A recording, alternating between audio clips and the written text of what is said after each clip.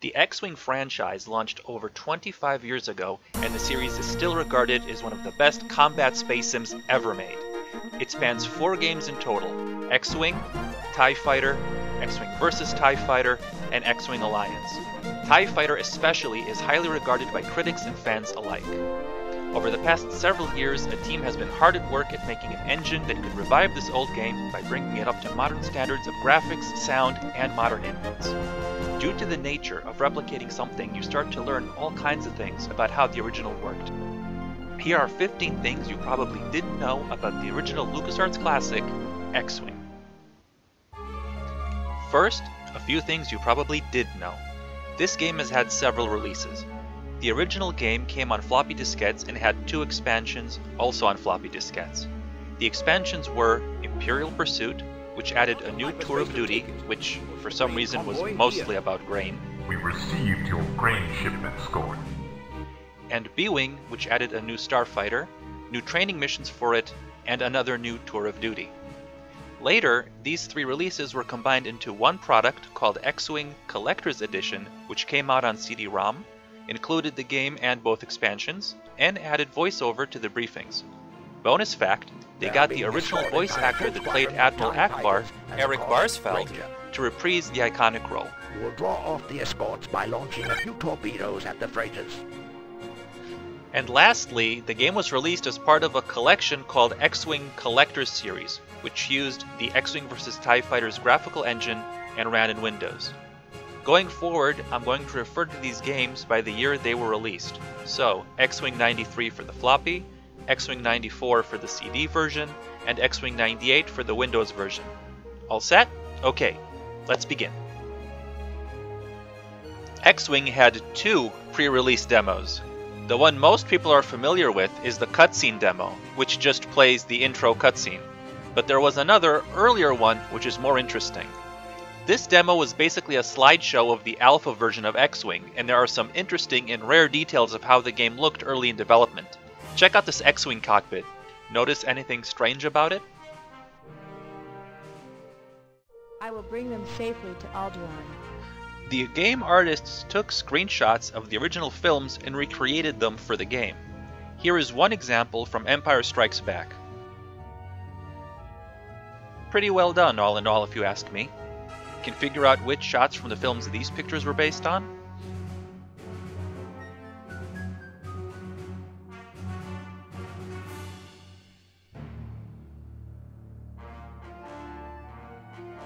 X-Wing's game engine is based on the engine from Lawrence Holland's previous title, Secret Weapons of the Luftwaffe, lovingly nicknamed SWOTL. This game lets you fly both sides of World War II.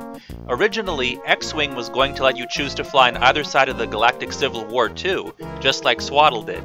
The concept was shelved but brought back for X-Wing vs. TIE Fighter.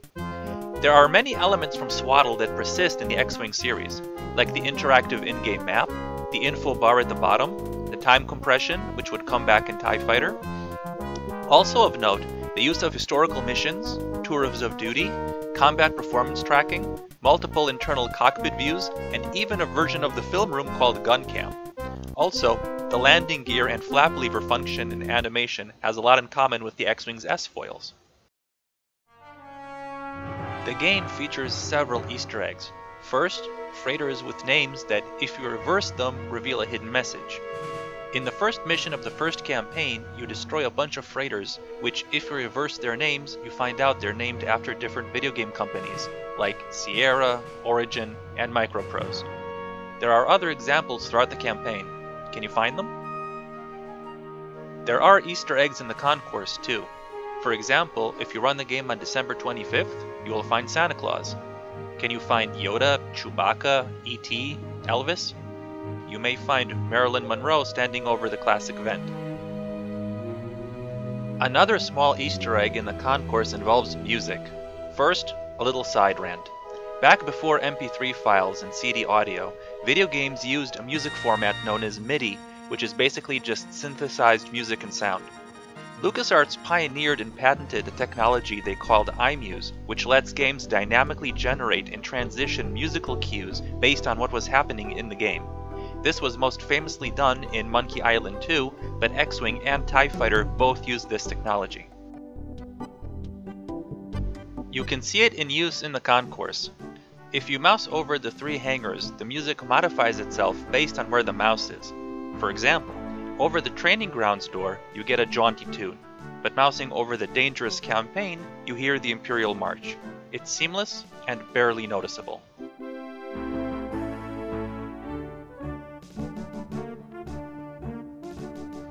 And for a bonus fact, a peripheral called the Roland MT32 was considered the creme de la creme of MIDI playback devices of the era, and X-Wing had special score files specifically composed to take advantage of this device's format.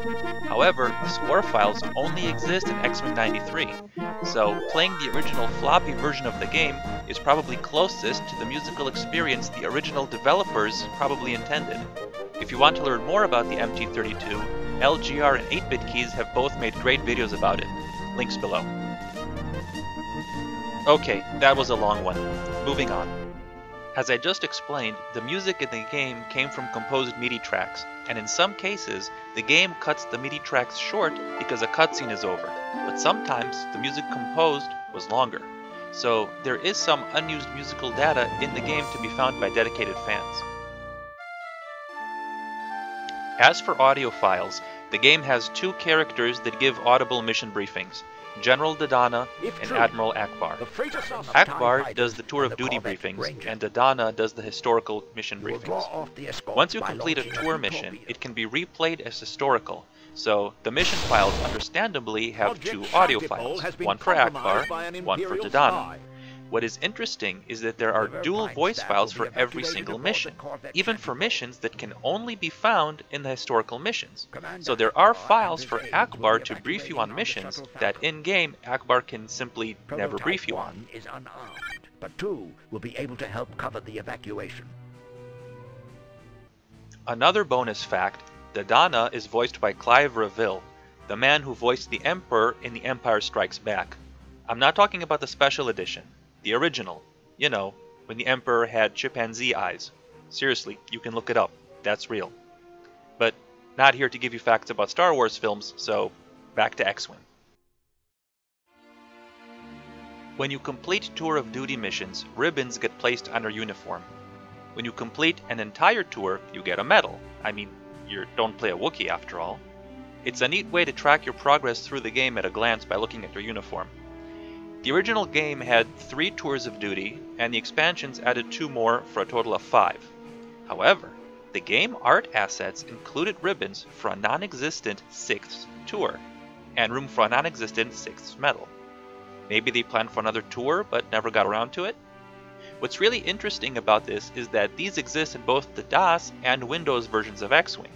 That means that some artist had to reproduce these sixth tour ribbons, knowing full well that they were never used and probably were never going to be used, as by this time the franchise had moved on from X Wing and to other games, and no new expansions were planned. During gameplay, if your ship gets damaged, instruments can get destroyed. During development, apparently there was work done to add damage sprites not just to the instruments, but to the rest of the cockpit interior and to the starfighter itself as you look around from the inside. For some reason, this feature was never completed, but the external damage code can still be activated, allowing me to show it to you. It's a shame this was never implemented. These look really great.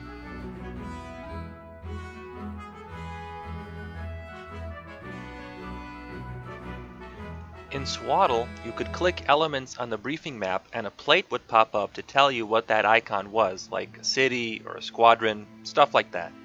This feature somehow made it into X-Wing, so if you pause the briefing by hitting stop and mouse over ships, you see the ship's target ID card.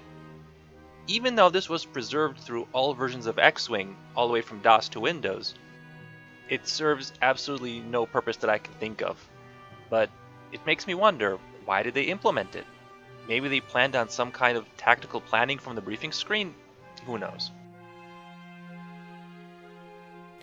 In one mission, Historical A-Wing 6, you inspect containers and you are surprised to discover there are TIE fighters hidden inside them, and they launch and attack you. But if you look closely at the briefing map, there are two red pixels that give away the surprise. This is because underneath the container icon is a TIE fighter icon that's sticking out a little bit out the sides. This is probably an oversight, as hiding specific icons from the briefing map isn't particularly difficult to do. At the end of Tour 4, you know, after all the grain, you're awarded a medal called the Shield of Yavin. However, the cutscene shows you getting the Corellian Cross, which is the same medal you get for Tour 1. What makes this bug even worse is that it persists through all versions of X-Wing, all the way from DOS to 98, which means that because 98 has remastered graphics, someone remastered the cutscene, and because of a bug, the game never shows it to you. Whoops. Whoops. Whoopsie. The culmination of the original game, the third tour, ends in the climactic battle at the Death Star, which has two missions. The first mission has you clearing the area in preparation for the trench run assault, and the second mission, well, it's the famous trench run. However, both missions take place on the same map, but to hide the trench from the first mission, the game just spawns you about 40 kilometers away. Now, if you look closely at the horizon, you can just barely see the trench in the distance. But it's there, so if you fly towards it for long enough, you can reach it.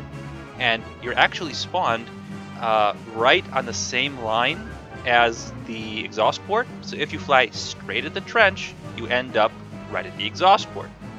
Yeah, you can shoot it with a proton torpedo, but it doesn't start a chain reaction and the Death Star doesn't explode.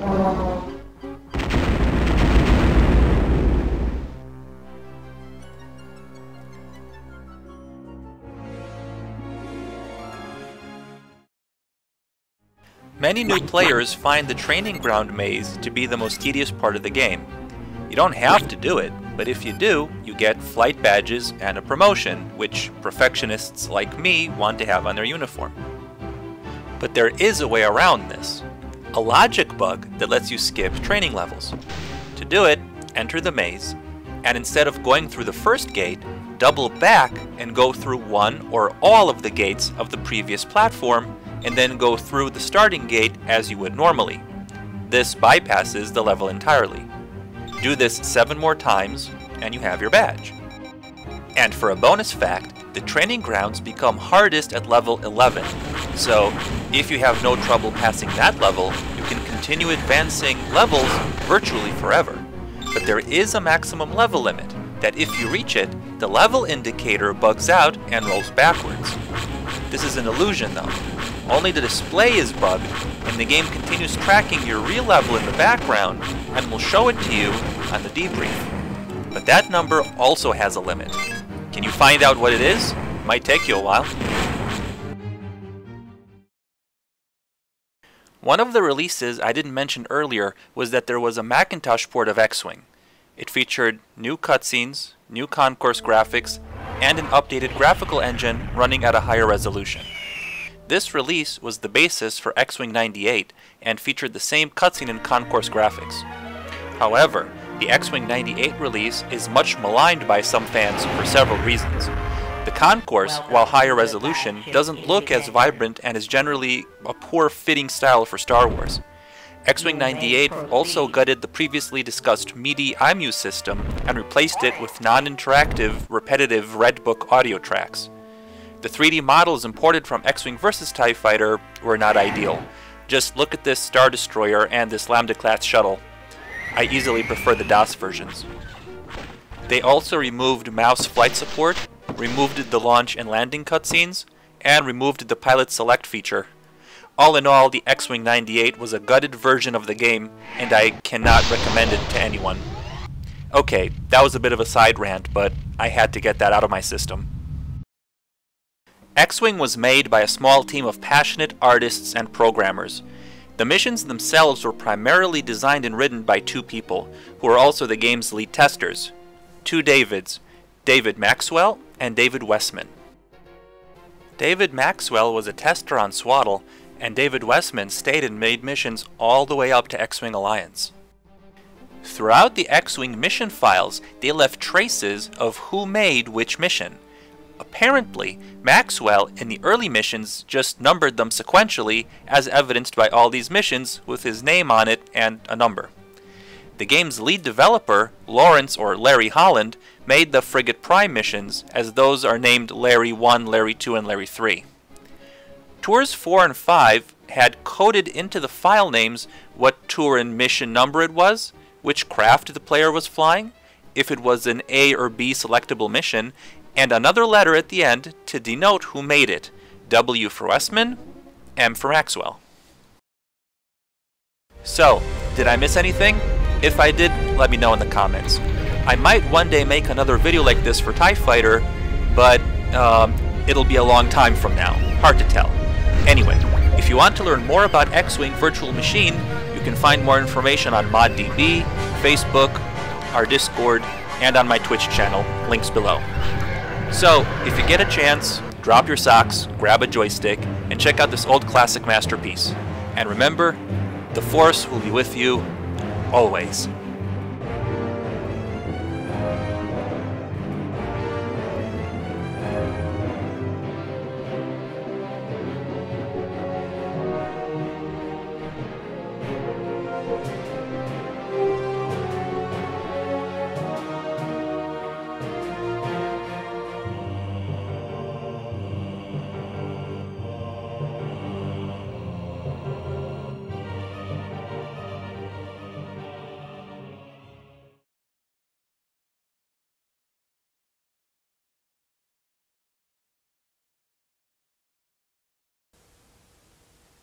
Best-selling 2013 book Grain Brain: The Surprising Truth About Wheat, Carbs and Sugars, Your Brain's Silent Killers.